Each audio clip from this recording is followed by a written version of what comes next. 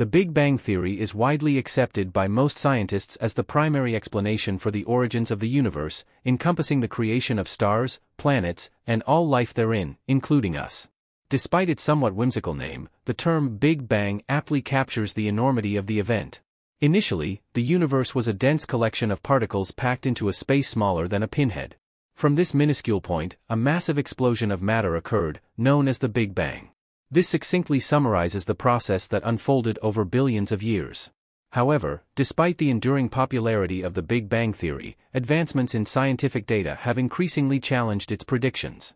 When NASA launched the James Webb Space Telescope, the largest and most advanced space observatory to date, scientists anticipated that its observations would bolster the Big Bang Theory.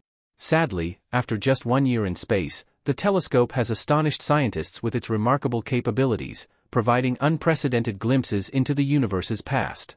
The James Webb Telescope's discoveries have unveiled galaxies so ancient that they could potentially reshape our understanding of the universe's origins.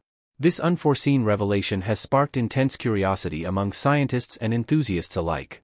One such groundbreaking discovery came when astronomer Rohan Naidu, analyzing early images from the James Webb Telescope, stumbled upon a galaxy that defied expectations. This galaxy, named Glass Z13, appeared inexplicably massive and dated back to a mere 300 million years after the Big Bang, making it older than any previously observed galaxy. Naidu's excitement was palpable as he shared the discovery with colleagues and the world, describing it as beyond astronomers' wildest dreams. The James Webb Telescope, stationed far from earthly interference and equipped with cutting-edge technology, was designed to delve into the universe's earliest epoch, known as Cosmic Dawn. This era, shrouded in mystery, marks the formation of the universe's first stars and galaxies. By scrutinizing galaxies from this period, scientists hope to refine their understanding of fundamental cosmic processes, such as the influence of dark matter and dark energy. Initial expectations for the James Webb Telescope's findings were modest, anticipating only a few faint, distant galaxies.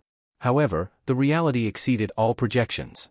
The telescope's images revealed galaxies of surprising maturity, challenging existing models and prompting a flurry of research activity. As scientists continue to analyze the James Webb Telescope's data, the implications of these discoveries could be profound, ushering in a new era of cosmological understanding. The unexpected revelations from this groundbreaking observatory offer a tantalizing glimpse into the universe's past, driving humanity's quest to unravel the mysteries of existence. As early galaxies came into view, theorists and observers found themselves scrambling to explain them. Could this bevy of anomalously big and bright early galaxies be a user error, perhaps due to flaws in the analysis of the telescope's initial observations? Or, if genuine, could they somehow be reconciled with standard cosmological models? Or just maybe, were they the first hints that the universe is more strange and complex than our boldest theories had supposed? At stake is nothing less than our understanding of how the orderly universe we know emerged from primordial chaos. The early revelations from the James Webb Space Telescope have the potential to rewrite the opening chapters of cosmic history. These chapters not only concern distant epochs and faraway galaxies, but also our own existence here in the familiar Milky Way.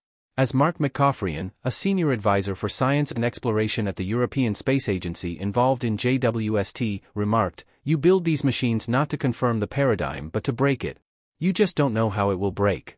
One might say that JWST's observations of early galaxies have been billions of years in the making. However, more modestly, they trace back to the Space Telescope Science Institute in 1985. At that time, the Hubble Space Telescope was still five years away from launch, but the Institute's then director, Riccardo Giacconi, asked his team to start thinking about what would come after Hubble much farther down the road. Despite initial protests about focusing on Hubble, Giacconi was insistent, foreseeing the lengthy development process. Garth Illingworth, then deputy director of STSCI, along with a small team, began drafting ideas for what eventually became the Next Generation Space Telescope, later renamed JWST. They recognized that while Hubble would be transformational, its capabilities would be limited by its observations in visible light. The NGST, on the other hand, would observe in the infrared spectrum, allowing it to penetrate deeper into the universe. The need for JWST became even more apparent in December 1995 when astronomers conducted the Hubble Deep Field Observation. Despite expectations of finding only a few dim galaxies, the resulting image revealed thousands of galaxies stretching back over 12 billion years into the universe's history. After more than two decades of development and at a cost of around $10 billion, JWST finally launched on Christmas Day 2021. The telescope underwent exhaustive testing before reaching its deep space destination a month later. By July 2022, it was ready to commence its long awaited first year of science observations, known as Cycle 1. Part of JWST's early mission was devoted to high impact programs, including the Cosmic Evolution Early Release Science Survey and the Gravitational Lensing Amplified Survey from Space, both aimed at shedding light on the mysteries of the early universe. As astronomers independently devoted countless hours to scanning separate patches of the sky in search of early universe galaxies, they initially anticipated modest findings, akin to a more intricate version of the Hubble Deep Field. However, they were in for a surprise. Steven Finkelstein from the University of Texas at Austin, leading the CEERS project, explains that extremely distant galaxies were expected to emerge only after multiple data cycles from various programs. Yet to astronomers' astonishment, these galaxies appeared almost immediately. Previously, the record for the most distant known galaxy belonged to GN Z11, spotted in 2015 with a redshift of 11. Redshift measures the stretching of light due to the universe's expansion, with a higher value indicating greater distance. But from the outset of GLASS observations, two separate teams, including one led by Rohan Naidu, independently identified GLASS Z13 with a redshift of 13, pushing the cosmic timeline back even further.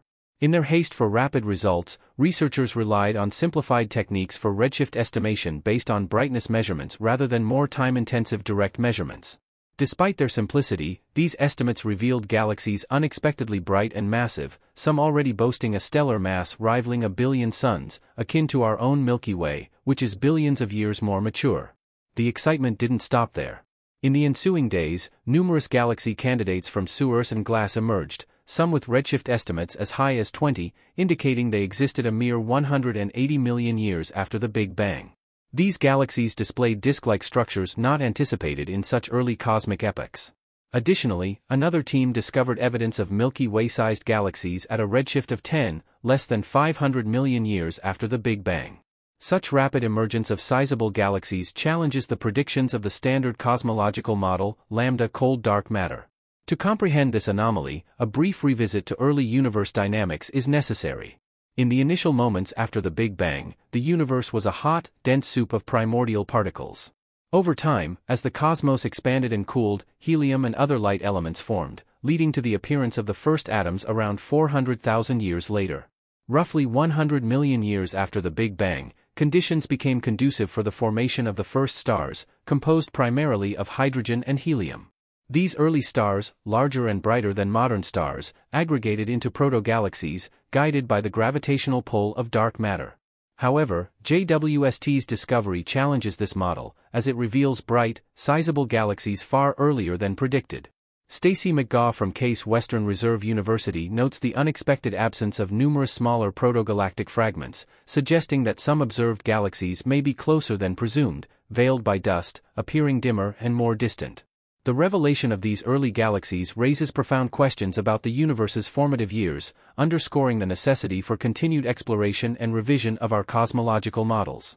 Follow-up observations of GLASS Z13 in August 2022 by the Atacama Large Millimeter Array in Chile cast doubt on the initial findings.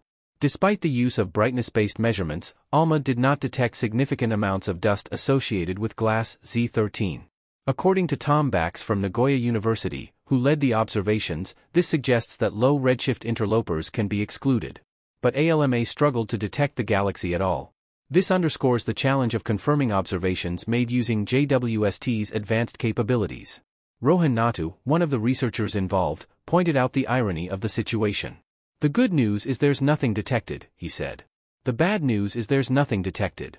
With only JWST capable of following up on its own observations, the most startling explanation could be that the canonical LCDM cosmological model requires revision. Michael Boylan Kolchin, a cosmologist, expressed the magnitude of this potential paradigm shift, stating, These results are very surprising and hard to get in our standard model of cosmology. It would be a real revolution.